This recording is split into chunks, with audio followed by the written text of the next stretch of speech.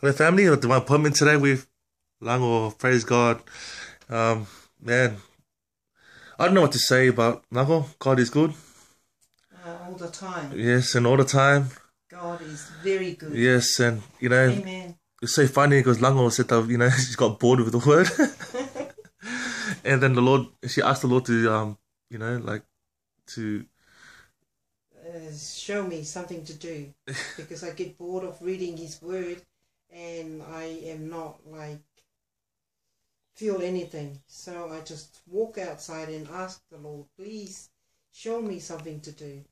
And then I was like talking to the Lord outside. I turned around and I heard that the door of my gate is snap. And then when I looked out, Apostle Tui walked over towards me. And then I wow.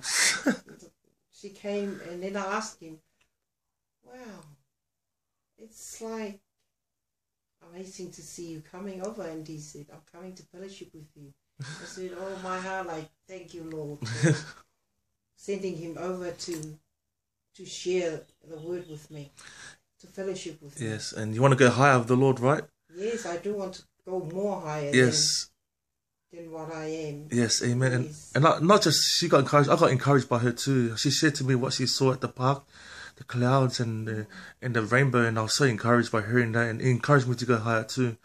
Um, something I want to share with family is like before I came here, the Lord showed me the last five minutes to to come to Lango's house, and I've praised God to um, always be obedient family. So my encouragement today for you guys is. Um, man, seek higher, eh? like Amen. seek first the kingdom, and you know the doors will open. And I thank the Lord, and uh, hopefully you have an awesome day in Jesus' name. Amen. Amen. God bless you Praise guys. Jesus. Amen. Hallelujah. Hallelujah.